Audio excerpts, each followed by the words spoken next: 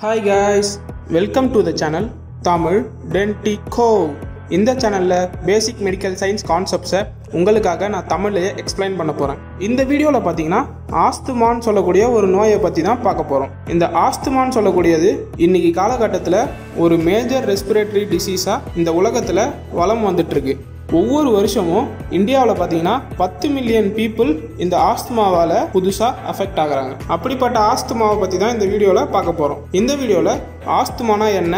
இந்த ஆஸ்துமா எப்படி உருவாகுது? இந்த ஆஸ்துமாவுடைய சிம்டம்ஸ் இந்த ஆஸ்துமாவை எப்படி டயக்னோஸ் பண்ணுறாங்க இந்த ஆஸ்துமாவுடைய ட்ரீட்மெண்ட்ஸ் இந்த மாதிரி பல விஷயங்களை பற்றி எக்ஸாம் பாயிண்ட் ஆஃப் வியூலையும் ஜென்ரலாகவும் நான் பேச போகிறேன் ஸோ இந்த வீடியோவை ஸ்கிப் பண்ணாமல் பாருங்கள் வாங்க வீடியோக்குள்ளே போகலாம்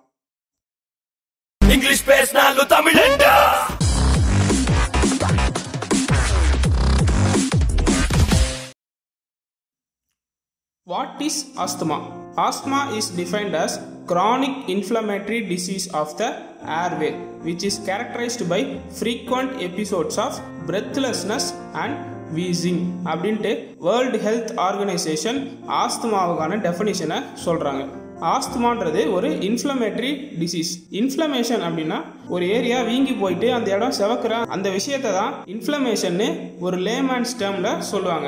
இந்த இன்ஃப்ளமேஷன்னா என்னன்னு ஆல்ரெடி நம்ம சேனல் ஒரு சின்ன வீடியோ போட்டிருக்கோம். அதை மிஸ் பண்ணாமல் பார்த்துருங்க. அதோட லிங்க் டிஸ்கிரிப்ஷனில் இருக்குது ஸோ ஆஸ்துமான்றது நம்ம ரெஸ்பிரேட்டரி சிஸ்டத்தில் வர ஒரு இன்ஃப்ளமேட்டரி டிசீஸ் இது வந்ததுன்னா அந்த பேஷண்ட்க்கு வீசிங் வரலாம் இல்லை பிரெத்லெஸ்னஸ் அதாவது மூச்சு திணறல் வரக்கூடும். இதை தான் ஆஸ்துமாவுடைய டெஃபினிஷன் வேர்ல்ட் ஹெல்த் ஆர்கனைசேஷன் சொல்கிறாங்க thus asthma is a chronic inflammatory disease of the airways இந்த ஆஸ்துமாவை முதல் முதல்ல ஆர்டேஎஸ் ஆஃப் கெப்படோசியான்னு சொல்லக்கூடிய ஒரு கிரீக் ஃபிசிஷியன் தான் கண்டுபிடிச்சாரு.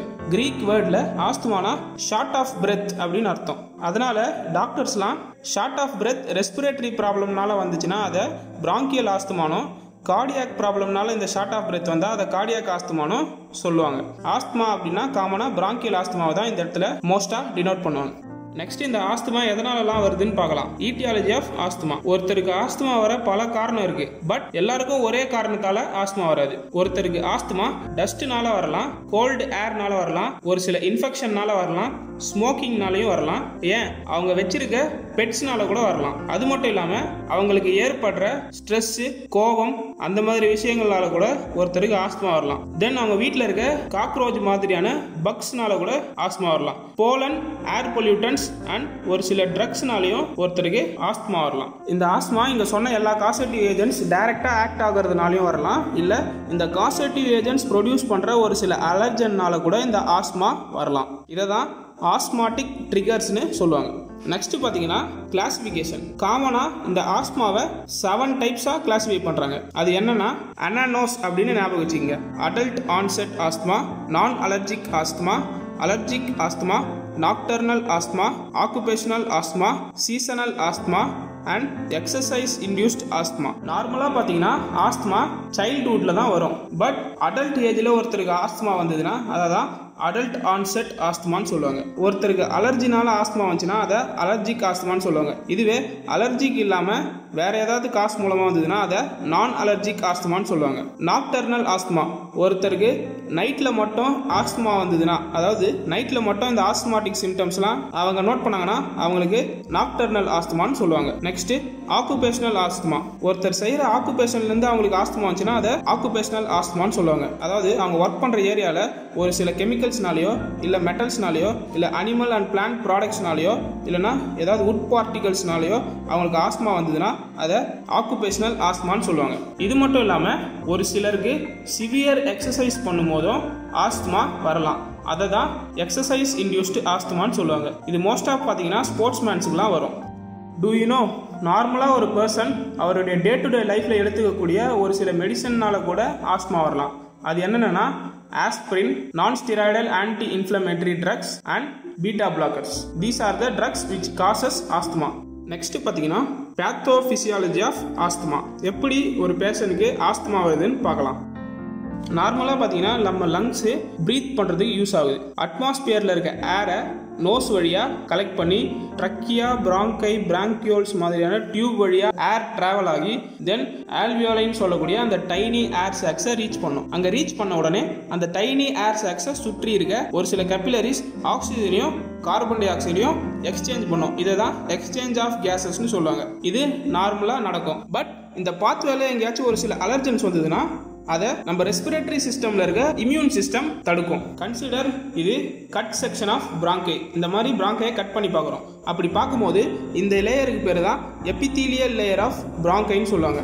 இந்த எபித்தீலியம்ல பார்த்தீங்கன்னா pseudo stratified ciliated columnar epithelium இருக்கும். அதாவது இந்த எபித்தீலியம்ல மேலே சிலியாலாம் இருக்கும். ஹேர் லைக் ஸ்ட்ரக்சர்ஸ் அது கூடவே கிளாப்லெட் செல்ஸ்ன்னு சொல்லக்கூடிய ஒரு வகையான செல்ஸ் இருக்கும். இந்த சிலியாவோட வேலை என்னன்னா சப்போஸ் நம்ம ரெஸ்பிரேட்டரி ட்ராக்ட் வழியா ஏதாச்சும் டஸ்ட்டோ இல்லை அலர்ஜன்ஸோ வந்ததுன்னா அதை அந்த சிலியா கலெக்ட் பண்ணி அகைன் காஃப் மூலமா வெளியே அனுப்பிடும். அப்படி இல்லைன்னா இந்த கிளாப்லெட் செல்ஸ்ன்னு சொல்லக்கூடிய செல்ஸ் மியூக்கஸ் அதாவது சளியை ப்ரொடியூஸ் பண்ணும். அந்த மியூக்கஸ் என்ன பண்ணும்னா அட்மாஸ்பியர்ல இருந்து வரக்கூடிய இந்த அலர்ஜென்ஸை கலெக்ட் பண்ணி ஸ்பூட்டம் மூலமா லங்ஸ்ல இருந்து வெளியே அனுப்பிடும். சப்போஸ் இந்த இம்யூன் மெக்கானிசத்தெல்லாம் தாண்டி ஒரு அலர்ஜன் உள்ள வந்ததுன்னா அதை எப்படி இந்த ரெஸ்பிரேட்டரி சிஸ்டத்தில் இருக்க இம்யூன் சிஸ்டம் ஹேண்டில் பண்ணுதுன்னு பார்க்கலாம். கன்சிடர் இது ஒரு அலர்ஜன் அதாவது மேலே இருக்க காசுல ஏதோ ஒரு காசு. இது என்ன பண்ணுதுன்னா நம்ம நார்மல் ரெஸ்பிரேட்டரி ட்ராக்ட் உள்ள என்டர் ஆகுது. அப்படி என்டர் ஆனவொடனே என்ன ஆகும்னு பார்த்தீங்கன்னா ஃபர்ஸ்ட் இந்த சூடோ ஸ்டாட்டிஃபைட் சிலியேட்டட் காலம் எபித்தீலியமும் அண்ட் அதில் இருக்க குளோபலட் செல்ஸும் ரிமூவ் பண்ண ட்ரை பண்ணும். அப்படி ரிமூவ் பண்ண முடியாத பட்சத்தில்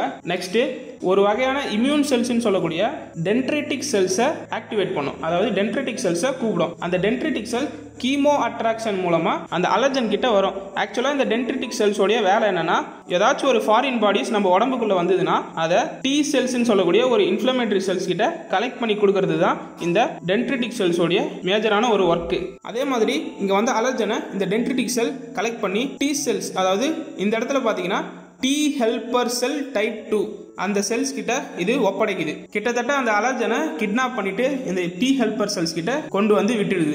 தென் இந்த டிஹெச் டூ அதாவது T helper cell type two என்ன பண்ணுதுன்னா இந்த அலர்ஜனை அழிக்கிறதுக்காக ரெண்டு பேரை கூப்பிடுது. அதாவது டூ டைப்ஸ் ஆஃப் இன்டர்லியூக்கின்ஸை ரிலீஸ் பண்ணுது. இன்டர்லியூக்கின்ஸ் அப்படின்னா டபிள்யூபிசிஸ் லாங்குவேஜ்னு சிம்பிளாக நம்ம சொல்லலாம். இந்த இன்டர்லியூக்கின்ஸை ரிலீஸ் பண்ணுது. அது என்னென்ன இன்டர்லியூக்கின்ஸ்னா interleukin four and interleukin five இந்த ரெண்டு இன்டர்லியூக்கின்ஸை ரிலீஸ் பண்ணுது. தென் இந்த இன்டர்லியூக்கின் ஃபைவ் என்ன பண்ணுதுன்னா பிளட்ல இருக்க ஈஸ்னோஃபில்ல ஸ்டிமுலேட் பண்ணுது. தென் இந்த இன்டர்லியூக்கின் ஃபோர் என்ன பண்ணுதுன்னா ஐஜிஇ ஆன்டிபாடிஸ்ன்னு சொல்லக்கூடிய ஒரு ஆன்டிபாடிஸையும் மாஸ்ட் செல்ஸையும் ஸ்டிமுலேட் பண்ணும். என்னது? IgE antibodies and mast cells இந்த ரெண்டு பேரை ஸ்டிமுலேட் பண்ணும். இந்த ஐஜிஇ ஆன்டிபாடிஸும் மாஸ்ட் செல்லும் சேர்ந்து இன்டர்லியூக்கின் ஃபோர் நம்மளை கூப்பிடுறான்ட்டு அந்த ரெஸ்பிரேட்டரி ஏரியாவுக்கு வரும்.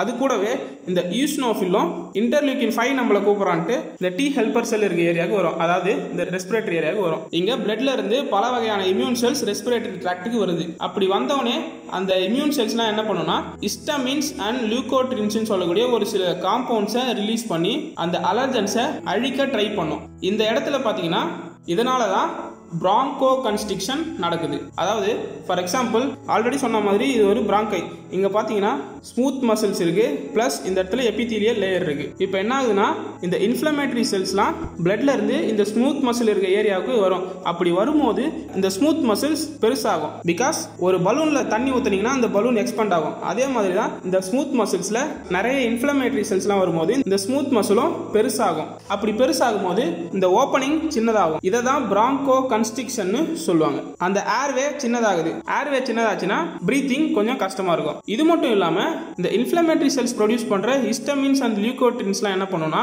அலர்ஜென்ஸை அழிக்கிறது மட்டும் இல்லாம இந்த எபித்தீலியல் லேயர்ல இருக்க குளாப்லெட் செல்ஸை ஸ்டிமுலேட் பண்ணும். அந்த குளாப்லெட் செல் ஸ்டிமுலேட் ஆச்சுன்னா என்ன பண்ணும்?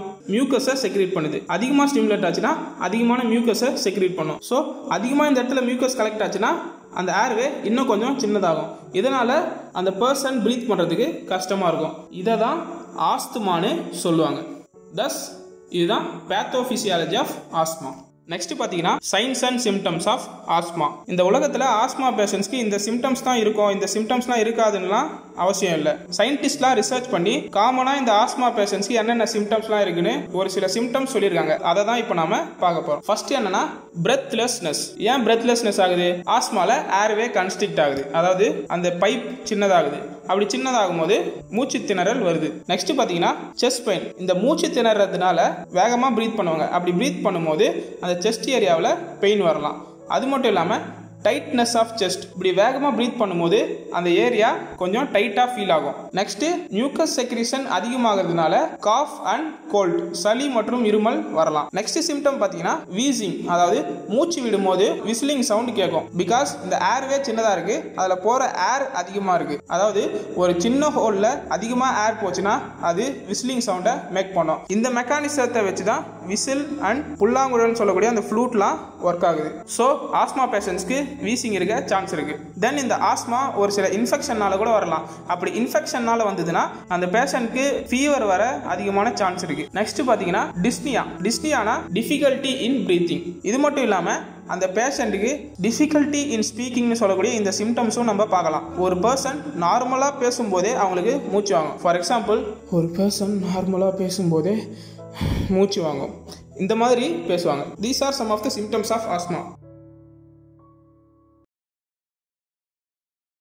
next பார்த்தீங்கன்னா டயக்னோசிஸ் ஆஃப் ஆஸ்மா இந்த டயக்னோசிஸில் ஃபர்ஸ்ட் அண்ட் ஃபார்மோஸ்ட் டெஸ்ட் என்னன்னு கேட்டிங்கன்னா பிஎஃப்டி அதாவது பல்முனரி ஃபங்க்ஷன் டெஸ்ட்னு சொல்லுவாங்க. இந்த டெஸ்ட்டில் பார்த்தீங்கன்னா ஸ்பைரோமீட்டர் அப்படின்னு சொல்லக்கூடிய ஒரு மிஷின் இருக்கும். அந்த மிஷினில் ஒரு டியூப் கனெக்ட் பண்ணி பேஷண்ட் கிட்ட கொடுப்பாங்க. தென் அந்த பேஷண்ட்டோடைய நோஸை க்ளோஸ் பண்ணுறாங்க அப்படி க்ளோஸ் பண்ணதுக்கப்புறம் அந்த பேஷண்ட்டை நல்லா இன்ஸ்பிரேஷன் பண்ணி தென் அந்த பைப் வழியாக அந்த மூச்சை எவ்வளோ ஃபோர்ஸாக விட முடியுமோ அவ்வளோ ஃபோர்ஸ் அண்ட் ஃபுல்லாக விட சொல்லுவாங்க. தென் அவங்க எக்ஸ்பயர் பண்ணதை அந்த மானிட்டர் ரெக்கார்ட் பண்ணும். இதுதான் பல்மரி ஃபங்க்ஷன் டெஸ்டோடைய ப்ரொசீஜர் இந்த பல்மரி ஃபங்க்ஷன் டெஸ்ட்டில் கிடைச்ச ஒரு சில வேல்யூஸ் வச்சு அவங்களுக்கு ஆஸ்மா இருக்கா இல்லையான்னு கண்டுபிடிப்பாங்க. மேஜராக மூணு வேல்யூஸ் அது என்னென்ன வேல்யூஸ்னா ஃபோர்ஸ்டு வைட்டல் கெப்பாசிட்டி அது forced vital capacity and forced expiratory volume in one second என்னது? Forced expiratory volume in one second இந்த ரெண்டு மட்டும் இல்லாமல் ஃபோர்ஸ்டு வைட்டல் கெப்பாசிட்டியோடைய வேல்யூவையும் forced expiratory volume in one second கிடைச்ச வேல்யூவையும் டிவைட் பண்ணி கால்குலேட் பண்ணுவாங்க.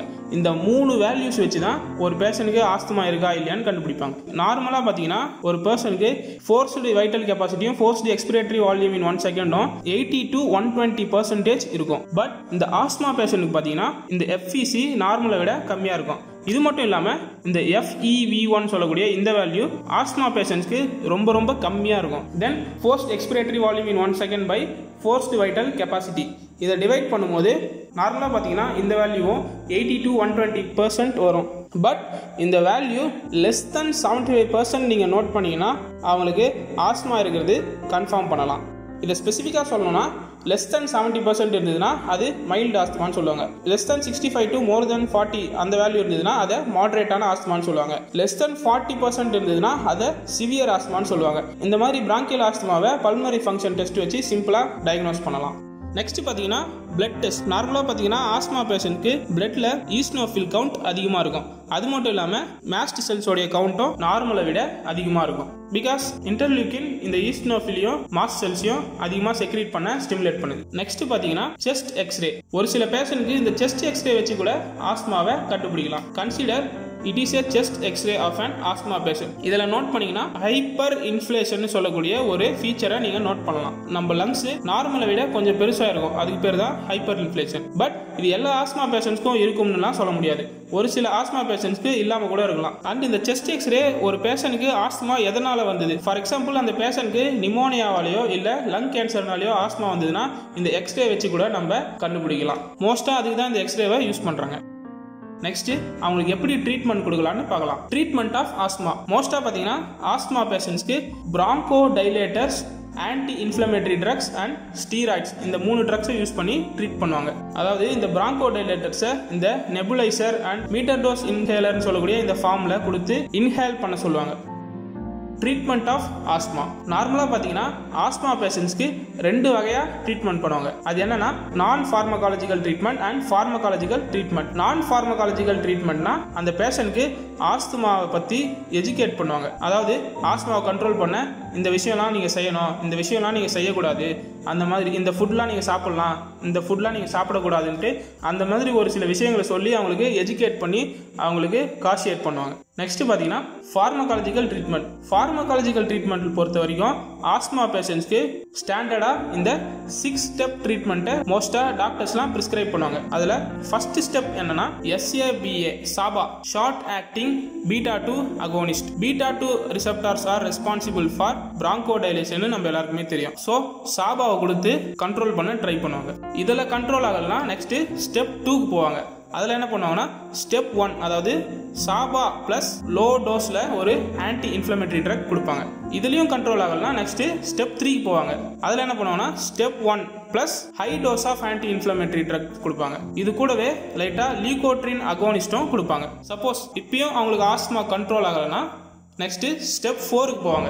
ஸ்டெப் ஃபோரில் பார்த்தீங்கன்னா லாபான்னு சொல்லக்கூடிய அந்த ட்ரக் கொடுப்பாங்க. அதாவது long acting beta two agonist இது கூட high dose of anti inflammatory ட்ரக்ஸும் medium dose of ICS அதாவது இன்ஹேல்டு கார்டிகோஸ்டிராய்ட்ஸ்னு சொல்லக்கூடிய அந்த ட்ரக்ஸையும் கொடுப்பாங்க. சப்போஸ் இப்பயும் அவங்களுக்கு சரியாகலன்னா next step five step five என்ன பண்ணுவாங்கன்னா LABA plus high dose of ICS இதுவும் வேஸ்ட் ஆயிடுச்சுன்னா நெக்ஸ்ட் ஸ்டெப் சிக்ஸுக்கு போவாங்க. அதில் என்னன்னா high dose of inhaled corticosteroids plus LABA plus oral corticosteroids இந்த மூணு ட்ரக்ஸும் சேர்த்து கொடுப்பாங்க. இதுதான் சிக்ஸ் ஸ்டெப் ப்ராசஸ் அண்ட் இந்த சிக்ஸ் ஸ்டெப் ப்ராசஸில் ஒரு பேஷண்ட் கியூர் ஆக ஆக இந்த சிக்ஸ் ஸ்டெப்பை six five four three two ஒன்னு கொஞ்சம் கொஞ்சமாக குறைச்சிக்கிட்டே போவாங்க. தென் ஒரு சில ஆஸ்மா பேஷண்ட்ஸ்க்கு இந்த சப்போர்ட்டிவ் கேர்னு சொல்லக்கூடிய இந்த மேனேஜ்மெண்ட்டும் பண்ணுவாங்க. அதாவது ஒரு பேஷண்ட்க்கு ஆஸ்மா இன்ஃபெக்ஷனால வந்ததுன்னா அவங்களுக்கு ஆன்டிபயோட்டிக்ஸ் கொடுப்பாங்க. தென் அந்த பேஷண்ட் டீஹைட்ரேட் ஆகாமல் இருக்க ஐவி ஃப்ளூயிட்ஸ் கொடுப்பாங்க. அண்ட் எமர்ஜென்சி ப்ரொசீஜரை மெக்கானிக்கல் வென்டிலேட்டரை யூஸ் பண்ணுவாங்க. காம்ப்ளிகேஷன்ஸ் ஆஃப் ஆஸ்மா இந்த ஆஸ்மாவை முடிஞ்ச அளவு ஆஸ் சூன் அஸ் பாசிபிள் நம்ம ட்ரீட் பண்ணணும். பிகாஸ் இந்த ஆஸ்மாவை நீங்கள் ட்ரீட் பண்ணாமல் விட்டுட்டீங்கன்னா ஒரு சில காம்ப்ளிகேஷன்ஸ் வரலாம். அது என்னென்னா rib fracture pneumothorax atelectasis pneumonia and status asthmaticus போன்ற காம்ப்ளிகேஷன்ஸ் வரலாம். டூ யூ நோ இந்த ஆஸ்மாட்டிக் பேஷண்ட்ஸ்க்கு ட்ரை ஃப்ரூட்ஸ்லாம் அவாய்ட் பண்ண சொல்லி ப்ரிஸ்கிரைப் பண்ணுவாங்க. பிகாஸ் இந்த ட்ரை ஃப்ரூட்ஸ் ஒரு சில ஆஸ்மா பேஷண்ட்ஸ்க்கு ஒத்துக்காது. அவங்களுக்கு வீசிங் அப்படி இல்லைன்னா ரெஸ்பிரேட்டரி ப்ராப்ளத்தை இந்த ட்ரை ஃப்ரூட்ஸ் காஸ் பண்ணலாம். So avoid dry fruits at last உங்கள் எல்லாருக்குமே இந்த கேள்வி இருக்கலாம். இந்த ஆஸ்மா க்யூர் ஆகுமா? இல்லை க்யூர் ஆகாதான்னு அந்த doubt yes asthma is reversible ப்ராப்பராக ஒரு ஆஸ்மா பேஷண்ட் ட்ரீட்மெண்ட் எடுத்துக்கிட்டாங்கன்னா அவங்களுக்கு இந்த ஆஸ்மா க்யூர் ஆகும். But rarely it causes severe conditions and death நம்ம மெடிசன் ஃபீல்ட் பார்த்தீங்கன்னா ஒவ்வொரு நாளைக்கும் டெவலப் ஆகிட்டே வருது. அந்த வகையில் இந்த ஆஸ்மாக்கு இப்போலாம் சர்ஜிக்கல் ப்ரொசீஜர்ஸ் மூலமாக கூட ட்ரீட் பண்ணுறாங்க அந்த ப்ரொசீஜர் பேர் என்னென்னா ப்ராங்கியல் தெர்மோபிளாஸ்டின்னு சொல்லுவாங்க. அதாவது ஆஸ்மா பேஷண்ட்ஸ்க்கு அவங்க நோஸ் வழியாக ஒரு டியூபை இன்சர்ட் பண்ணுவாங்க. அந்த டியூபோடைய டிப்பில் டைனி கேமரா இருக்கும். தென் அந்த டியூபை லங்ஸ்குள்ளே செலுத்துவாங்க. அப்படி லங்ஸை ரீச் பண்ணோடனே எங்கே ஆஸ்மா இருக்கோ அதாவது பிராங்கோ கன்ஸ்ட்ரிக்ஷன் இருக்கோ அந்த ஏரியாவில் இந்த டியூபை எக்ஸ்டெண்ட் பண்ணி அந்த ஏரியாவையும் எக்ஸ்பேண்ட் பண்ணுவாங்க. இந்த ப்ரொசீஜர் மூலமாக பிராங்கியல் ஆஸ்துமாவை சர்ஜிக்கலாக க்யூர் பண்ணுறாங்க at last Let's quickly recap. Asthma is a chronic inflammatory disease which obstructs airways. Asthma is classified into seven types. Avanos. Pathophysiology. The allergens which enter into the body leads to the production of interleukin 4 and interleukin 5, which leads to inflammation, increased mucus secretion, and bronchoconstriction called asthma. Asthma is diagnosed mainly by pulmonary function test, in which forced expiratory volume in one second by forced vital capacity is less than 75% for asthma patients. Asthma is treated with bronchodilators, anti-inflammatory drugs and steroids. Thanks for வாட்சிங் guys இந்த video உங்களுக்கு யூஸ்ஃபுல்லாக இருந்ததுன்னா like பண்ணுங்கள் உங்களுக்கு யூஸ்ஃபுல்லாக இல்லைனாலும் உங்கள் ஃப்ரெண்ட்ஸ்க்கு யூஸ்ஃபுல்லாக இருக்கலாம். ஸோ உங்கள் ஃப்ரெண்ட்ஸ்க்கும் ஷேர் பண்ணுங்கள் அண்ட் உங்களுக்கு எந்த டாப்பிக்கில் வீடியோ வேணாலும் கீழே இருக்க கமெண்ட் செக்ஷனில் மென்ஷன் பண்ணுங்கள் அட்லாஸ்ட் இந்த மாதிரி வீடியோஸ் மூலிமா நீங்கள் பல விஷயங்களை கற்றுக்கணுன்னா மறக்காமல் நம்ம சேனலுக்கு சப்ஸ்கிரைப் பண்ணிவிடுங்க